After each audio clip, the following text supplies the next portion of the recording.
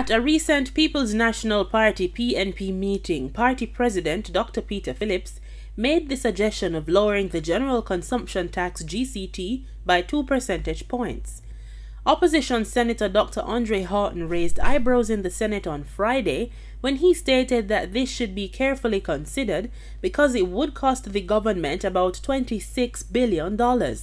Speaking on RJR's Beyond the Headlines Monday with host Dionne Jackson Miller, he responded specifically to his views versus those of the PNP. So you did therefore part company on that point from, from the other members of the opposition. Yeah, I remember, you know, when you're looking at economic policy, you know, there are a host of things that you can do with the limited fiscal room you have. You know. So you're looking at, remember that the opposition is not in power, so the opposition cannot make a fiscal policy decision. It has to be the government who makes fiscal policy decisions.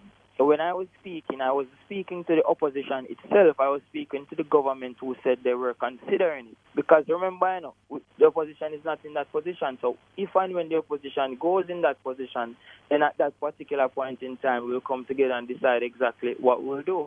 But remember now, it's just politics back and forth, we're saying, and then we're looking at economic policy, and then we want to see it done in the best way. Dr. Haughton gave more reasons to explain that his message was not for the People's National Party president. Remember, tax cuts is like expansionary fiscal policy. And we've always said that when, when you're looking at taxes in the country, then Jamaican tax rate was always too high. Now, last last election, when the government got a fiscal room and they decided to go the route of giving it back to property taxes and so on and so forth, then know the opposition is going to look at that and we're going to say, well, it could have been distributed to a broader cross section of people via GCT. But from where we sit now, and we're looking at GCT as a whole, because remember, Dr. Peter Phillips wouldn't be in a position to implement that now, so I could not be speaking to him.